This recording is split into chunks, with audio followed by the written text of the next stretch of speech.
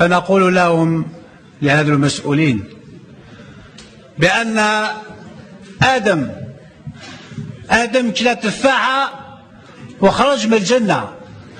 وأنتم كليتوا الجزائر بأكملها وطمعين دخلوا الجنة.